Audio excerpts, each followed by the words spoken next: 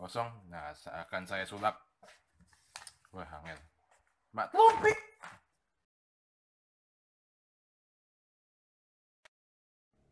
Kita di penghujung video kali ini. Ada tambahan lagi. Oh iya ada. Uh, ini ada lagi dua. Yang pertama namanya Onushar. Onushar kayak familiar ya. Ya betul. Seperti di aksara Devnagri Anusvara. Equivalent ya, sama.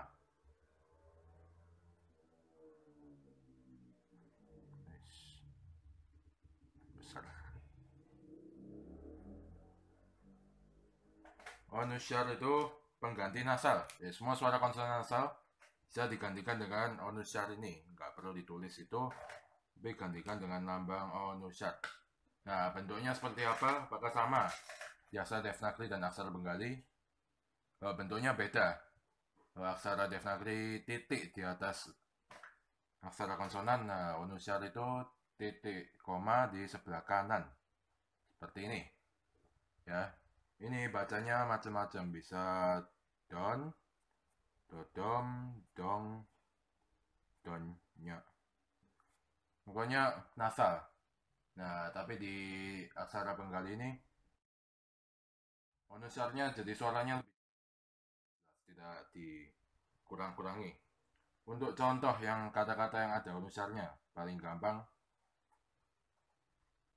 ayo ini bacanya apa Betul sekali, ini bacanya Bangla. Seperti nama aksara ini, aksara Bengali, Bangla Lipi. Nah, Banglanya itu ada onusarnya. Dan di sini onusarnya dibaca ng. Baca nga, Bangla. Contoh lain ini.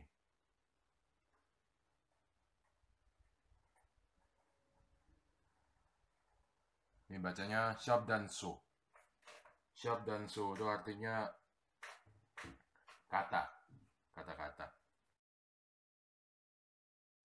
Nah, di sini onusarnya jadi dibaca no. Tadi kan Bangla onusarnya dibaca ngo. Oh ya, kapan dipakai onusar ini? Kapan harus pakai yang nasal? Oh, tergantung kata-kata dari bahasa Bengalinya. Ada lagi ini.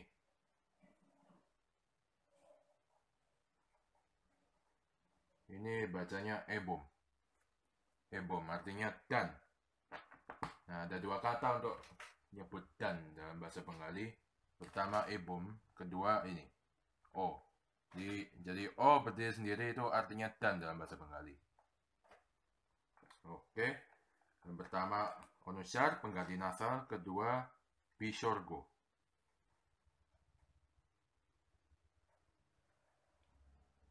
Bisorgo ini pengganti frikatif ekuivalen dengan visarga dalam aksara Devnagri. Bentuknya hampir sama ya, kalau aksara Devnagri titik dua di sebelah kanan, Bisorgo juga titik dua di sebelah kanan aksara konsonan. Hanya saja titiknya besar. Beda di situ. Nah, kalau gini bacanya doh. Ya. Tapi, nah ada tapinya dong. Di aksara Bengali ya penggunanya untuk fungsi lain fungsi yaitu untuk pengganti frikatif tentu saja. Ini fungsi utama juga. Fungsi lainnya yaitu untuk memperpanjang vokal. Jadi contohnya kata ontosto. Ya ontosto. Nah ontosto nya ini kita tulis.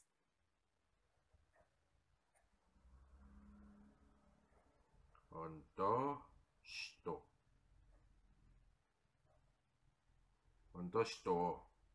Eh ontosto nah ini. Ada bisorko ini bukan bacanya ontosto kan? Enggak kan?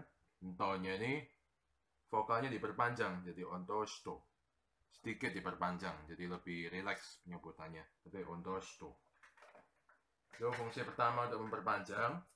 Fungsi kedua yaitu yang tidak umum. Untuk penanda singkatan. Misal kita mau nulis dokter kan kita cuma singkat DR ya. DR titik. Ini kan dokter kan? Nah di aksara Bengali pun bisa nulis seperti ini DR titik pakailah bisorgo jadinya cuman gini nah ini da ini domodono tambah Syoro akar, kemudian bisorgo. Da. Kependekan da ini singkatan dari doctor. Doctor bahasa Inggris. Wow. Selain untuk singkatan dokter, juga bisa untuk satuan jarak. Satuan jarak kan singkatan juga kan. Kilometer, kilometer, sentimeter, saja km, meter m, sentimeter cm. Nah, di aksara Bengali pun untuk kilometer bisa. Jadinya gini.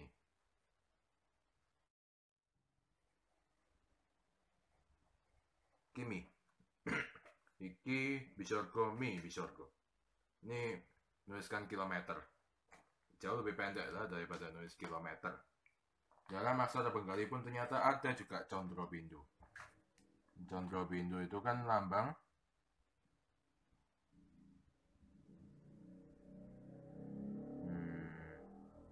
Condro bindu kan lambang itu ya, lambang bulan. Ada dalam aksara Devanagari. Nah, aksara Bengali pun ada. Lambangnya seperti apa? Lambangnya tidak beda, Condro bindu. Nah, fungsinya yang berbeda, suaranya yang dihasilkan berbeda. Karena kalau sudah dikasih Condro bindu gini, maka suara vokalnya dari masing-masing konsonan itu menjadi nasal. Jadi kalau ini kan tadi do biasa. Ini do. Bisa dengar ya beda ya ada ada nasalnya do. Untuk contoh angka 5. 5 dalam bahasa Bengali patch. Hmm. Ini ada condro bintunya di atasnya soro akar. Oh iya, condro bintu itu letaknya kan selalu di atasnya diakritik vokal. Nah, kalau tidak ada diakritik vokalnya ya diletakkan di atasnya aksara konsonan yang mau dinasalkan. Beda kan ya sama bahasa ya, sama bahasa Hindi kan punch. Ini bukan pakai contoh bindu kalau bahasa Hindi ini pakai anuswara atau anusyar. Nah, dalam aksara Bengali ini pakai contoh bindu dan suaranya bukan punch lagi tapi ada nasalnya. Ada lagi bulan. Bulan kan condro, tapi juga bisa ada yang nulis cat. Ya, ini pun artinya juga bulan, cat. Contoh lain.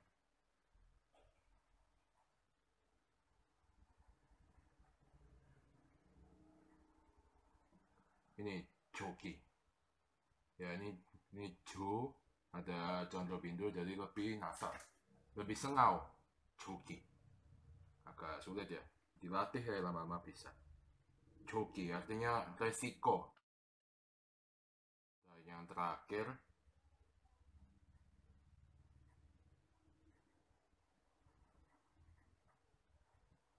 Ini bacanya fota fota artinya drop droplet ya tetesan atau apa blok yang tetesan-tetesan lemak gitu nah itu pakai fota Oh, Chandra Bindu ini pun punya fungsi lain. Yaitu untuk lambang suci agama Hindu. Untuk penganut Hindu yang ada di daerah-daerah Bangladesh dan India Barat. Mereka juga bisa pakai lambang ini. Di Shoro O, kasih Chandra Bindu. Om. Ya, untuk diingat ya ini. Uh, ada yang bertanya ya dari awal, ini lambang apa ya? Yang seperti cacing ini, menggeliat. Ini namanya Jovola. Jovola. Jovola ini apa ya? Ya, Jovola ini bentuk konjungsi dari ontostojo. Oh, berarti berarti ini konsonan dong. Nah, dalam aksara Bengali fungsinya sudah bukan sebagai konsonan lagi, tapi punya banyak fungsi lain. Ya, jadi contohnya ini bebo resto. Kan beb nipo kasih hosonto kemudian kasih ontos tojo. Jadi muncul lambang jovola ini. Fungsi lain apa? Misalkan itu saya kasih jovola, bacanya bukan do lagi. Tergantung. Fungsi pertama yaitu untuk memperpanjang konsonan. Jadi ini do kasih ini bacanya bukan lagi do tapi do jadi lebih tertahan loh konsonannya untuk contoh ya kita lihat nama dari semua warga semua warga namanya ada Jovola di belakang contohnya ini. Konto nah kan do-nya kan setelah itu ada Jovola makanya konto nah do-nya kan lebih tertahan dikit kan. Kalau tanpa Jovola bacanya konto langsung. Ini kan konto lalu murdono.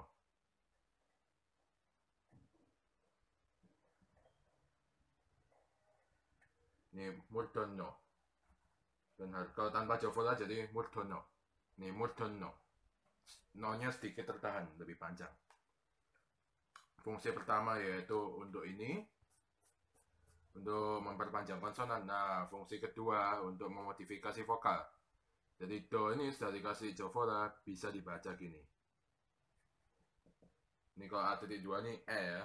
Ini jadi do kasih Jovola jadi D. Jadi pertama bisa baca do, kedua bisa baca D. Ini contohnya ini Beborito kan ini bacanya B.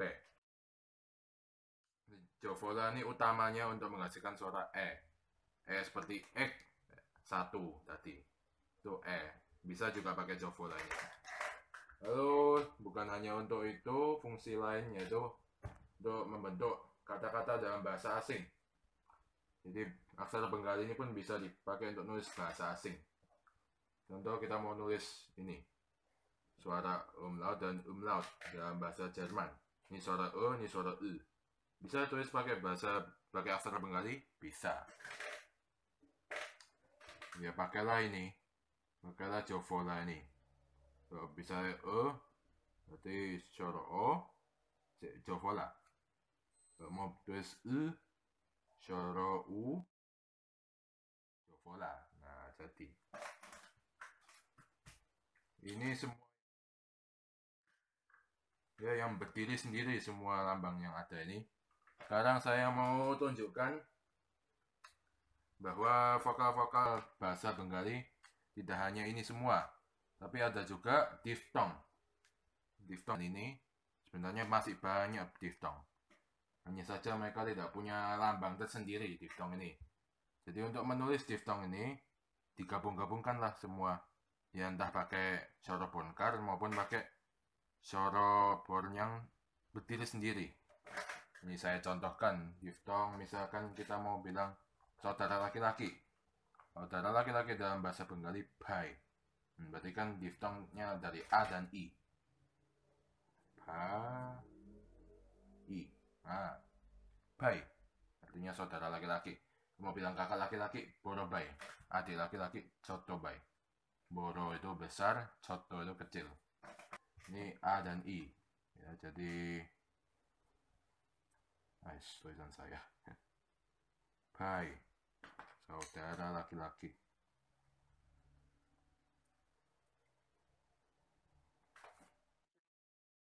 Yang kedua E dan I.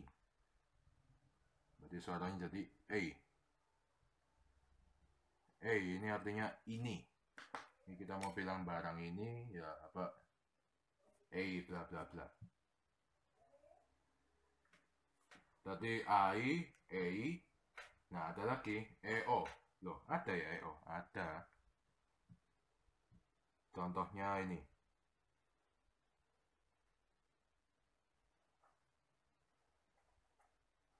Ini bacanya dewa. Dewa, artinya given kalau bahasa Inggris. Berarti apa? Diberikan. Saya tulis saja given ya. Ini kan harusnya deoya. Ini kan ontosto kan? Nah, ingat cowok suara Y, tapi kalau dia berdiri sendiri atau di depan, ini kan di depan ini, ya, eh, konsonan Y-nya hilang, tinggal A, ini maka dewa, bukan deoya. Satu lagi, EU, jadi EO. Ini bacanya keo. Keo artinya seseorang kalau dalam bahasa Bengali.